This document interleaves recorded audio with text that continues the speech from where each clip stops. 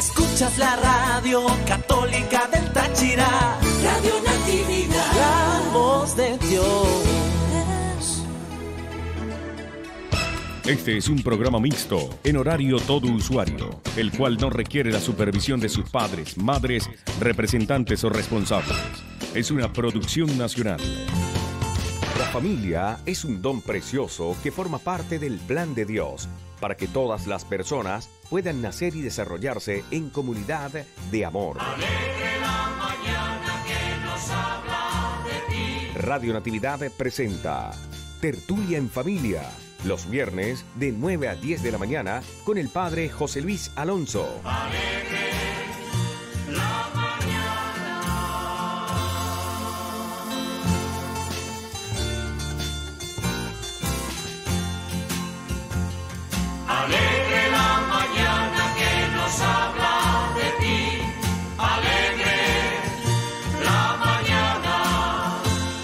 Dios, con infinito cariño, Jesús con toda su bondad y el Espíritu Santo con amor y alegría, les desea a cada uno de ustedes un feliz y provechoso día.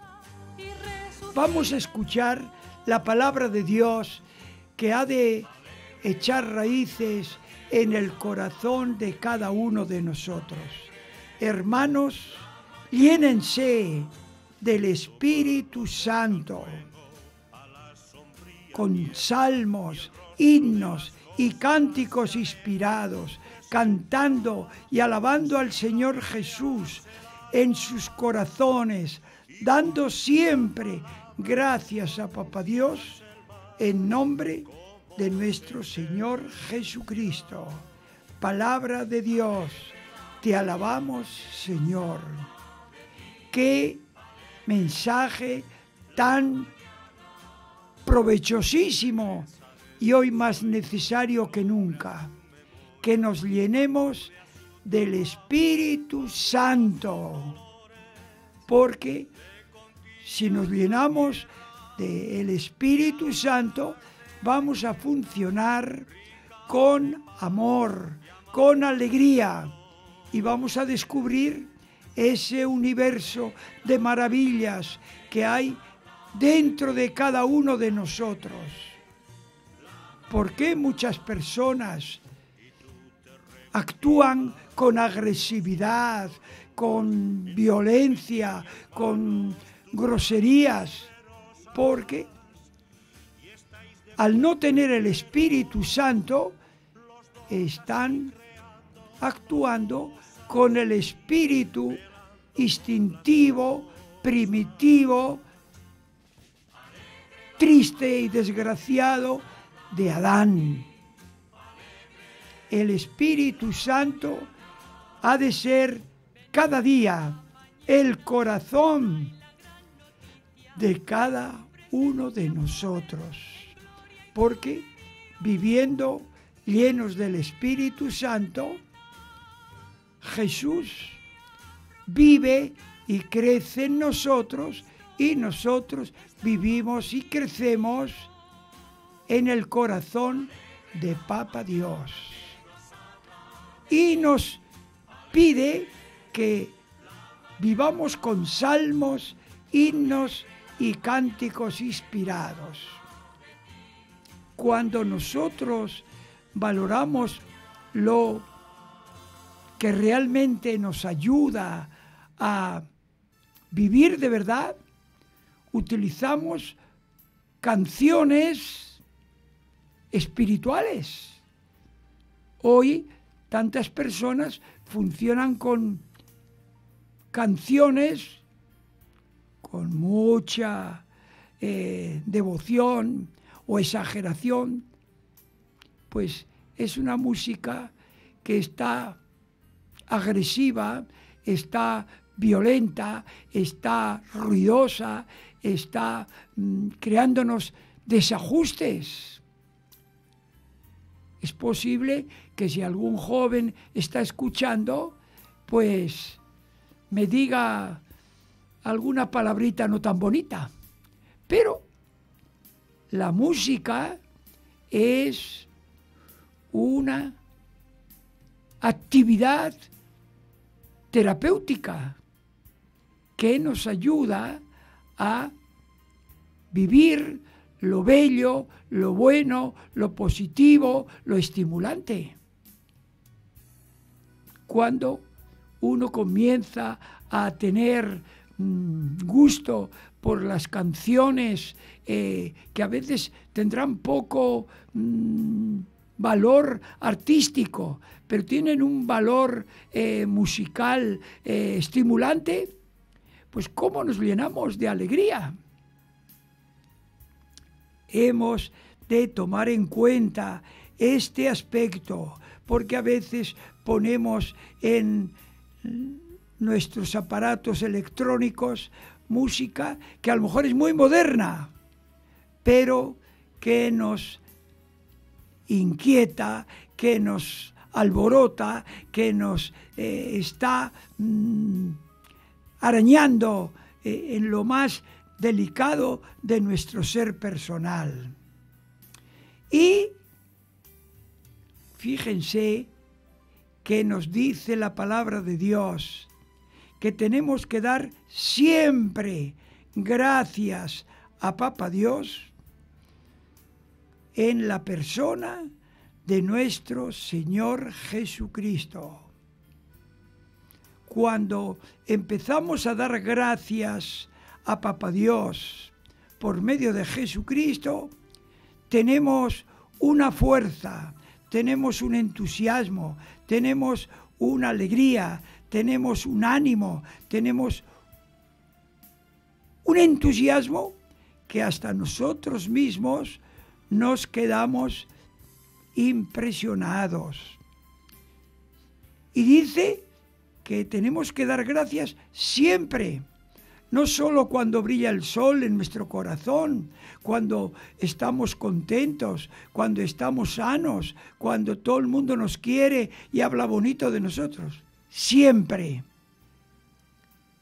Está archicomprobadísimo que cuando tenemos dificultades o situaciones eh, que nos inquietan, que nos quieren quitar la alegría y la salud, empezamos a dar gracias y como la paz, la serenidad, el ánimo brotan de una manera muy increíble dentro de nosotros. Cuando damos gracias a Papa Dios, le estamos dando un cheque en blanco. Tú sabrás por qué me viene esta situación. Yo no puedo perder mi paz, mi salud, mi condición de rey y reina. Esto que puede parecer un poco eh, emotivo, romántico, esto es lo que nos confirman los santos. Los santos los humillaban, los calumniaban, les encarcelaban, los Mm, hacían sufrir terriblemente y ellos decían, gracias Señor. ¿Que les dolía? Claro. Pero es que tenemos dos niveles. El nivel epidérmico exterior, donde ahí casi nunca podemos impedir que no nos lastimen. Pero tenemos otro nivel profundo y ahí no entra nadie más que Jesús y a quien nosotros le dejamos. A mí me gusta cuando veo personas que están pasándolo mal, les digo una comparación, les pregunto, ¿usted conoce el mar? Y me dicen que sí. Y le digo, ¿y usted ha visto qué hace el viento con el agua. Y me dicen, claro, levanta las olas. Pues si usted y yo nos decidimos a entrar un par de metros en el agua, el mar se ríe del viento, que es muy gritón, muy alborotado, muy eh, ruidoso, pero no hace más que lastimar, vamos a hablar así, la superficie del mar. Todos nosotros, cuando entendemos que tenemos dos niveles, es cuando empezamos a descubrir que nuestro organismo externo pues puede sufrir porque nos golpean o nos gritan o nos calumnian o nos hacen un daño considerable. Pero como somos conscientes de que tenemos un nivel profundo, íntimo, tan personal, que ahí nadie entra. Y a lo mejor lloramos, a lo mejor nos quejamos de que nos duele el brazo o el, o el cuerpo, pero no perdemos la paz. Y hemos de recordar que la palabra de Dios nos dice, nadie puede declarar Jesús es el Señor si no es movido por el Espíritu Santo. Qué importantísimo es el Espíritu Santo en nuestra vida, porque el Espíritu de Dios es el que nos santifica, el que nos renueva, el que nos sana, el que nos alegra, el que nos llena de amor.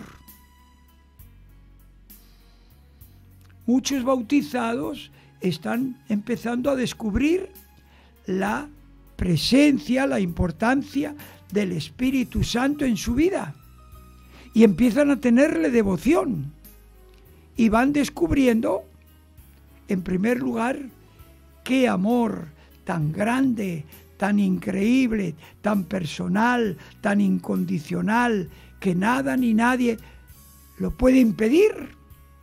Y descubren también el universo de cualidades, de maravillas, de posibilidades que hay dentro de cada uno de nosotros. Y cuando, que suele ser muy frecuente, que tenemos heridas, cicatrices, que de cuando en cuando se hacen sentir,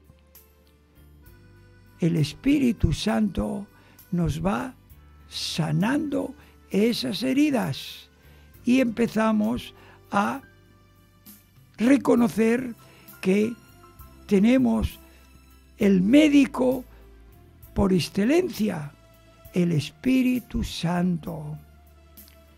Cuando tenemos familiaridad con el Espíritu Santo, es cuando descubrimos lo que somos, lo que valemos, lo que tenemos, lo que podemos. Y al revés, sin el Espíritu Santo vamos del tumbo al tambo, como decimos en nuestro lenguaje coloquial, y sufrimos y hacemos sufrir. Hemos de vivir convencidos. Si el Espíritu Santo es el Espíritu de Papa Dios, si el Espíritu Santo es el Espíritu de Cristo el Señor, y por pura, por pura bondad y generosidad, ha querido ser también Espíritu nuestro, todos hemos de tener una familiaridad amorosa, gozosa, continua con el Espíritu Santo. ¿Qué es lo que dicen los santos? Todo con el Espíritu Santo, nada sin el Espíritu Santo. Si queremos ser vencedores e invencibles a todos los niveles, hemos de tener esa fuerza del Espíritu Santo. Nada de mm, pretender que con, nos- con nuestro propio esfuerzo y nuestra fuerte voluntad vamos a superar tantas cosas que nos suceden en este nuestro diario vivir hacia el cielo. No y no. Tiene que ser con el Espíritu Santo. Y si el mismo Espíritu Santo nos pide, nos ruega, nos manda, llénense del Espíritu Santo, es porque ahí está la clave, ahí está el secreto de nuestro crecimiento personal, a nivel afectivo, a nivel intelectual, a nivel espiritual. Qué distinta sería nuestra vida si todos empezáramos a tomar en serio al Espíritu Santo. Nada de estar eh, dejándonos llevar por nuestro espíritu primitivo de Adán. No, no, no. Eso no nos trae más que multiplicar multiplicación de heridas. Y el que está herido hiere. El Espíritu Santo quiere hacernos crecer en el amor, en la alegría. Y cuando estamos llenos de amor y de alegría, pues damos amor y alegría. Y esa es la forma propia, personal, si tenemos y queremos la felicidad verdadera, la santidad. No podemos est- estar a merced de nuestros sentimientos primitivos, agresivos, hirientes. No, nuestra vida es demasiado breve para desperdiciarla. Y más se consigue con una sonrisa que con mil regaños. Más se consigue con una palabra amable que con gritos, por muy elocuentes que puedan parecer. El Espíritu Santo quiere que Jesús brille en cada uno de nosotros.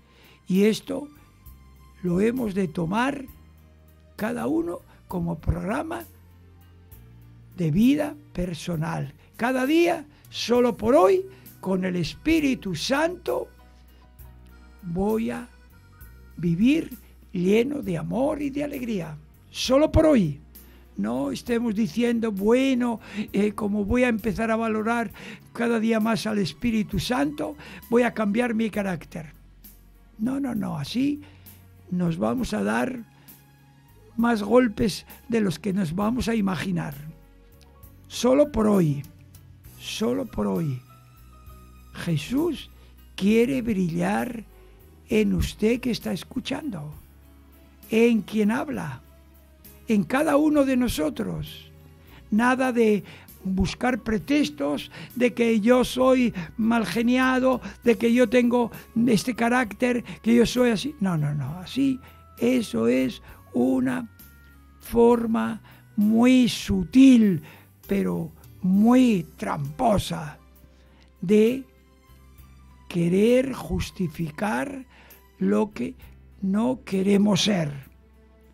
Tenemos, si, si nos hemos portado mal, vamos a pedir disculpas y le pedimos al Espíritu Santo que seamos delicados, que seamos amables, que seamos simpáticos, que seamos personas con las que se está a gusto. Y es que así anticipamos el cielo. Cuando valoramos al Espíritu Santo, es cuando empezamos a ser cristianos, discípulos verdaderos de Jesús. Sin el Espíritu Santo, pues podemos estar tranquilos en el Antiguo Testamento, en la ley, y decir yo cumplo, yo hago las cosas correctamente, yo soy muy religioso, yo rezo mucho, pero si nos falta el Espíritu Santo, estamos todavía en pañales, estamos todavía en la ley, estamos en el Antiguo Testamento. Por eso, el Espíritu Santo ha de ser cada día el corazón de cada uno de nosotros, la fuente de nuestro amor, la fuente de nuestra alegría, la fuente de nuestro crecimiento. El Espíritu Santo nos ilumina la inteligencia con su luz divina para que descubramos quién es Papa Dios, quién es Jesús, quién es el Espíritu Santo y ese universo increíble de maravillas que somos cada uno de nosotros. Esta es la santidad. No soñemos con hacer cosas raras, cosas espectaculares, cosas que llamen la atención, porque no vamos a conseguir más que desengaños ¿Y por qué decimos desengaños? Porque el que está en un engaño se da cuenta de que tiene que salir del engaño. Dichosos nosotros si vivimos en continua, gozosa, amorosa familiaridad con el Espíritu Santo. Vamos a escuchar la canción de San José, el hombre espiritual, el hombre lleno del Espíritu Santo, el hombre que ha de ser siempre nuestro mejor estímulo para vivir de verdad unidos a Jesús en el corazón de Papa Dios.